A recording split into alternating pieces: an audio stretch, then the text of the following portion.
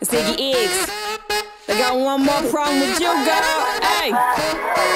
Iggy Iggy, too biggie to be his present. I'm thinking I love the thought of you more than I love your presence. And the best thing now is probably for you to exit. I let you go, let you back. I finally learned my lesson. No half-stepping, either, you wanted it, you just playing. I'm listening to you knowing I can't believe what you're saying. It's a million years, baby boo, so don't be dumb. I got 99 problems, but you won't be one. Like what?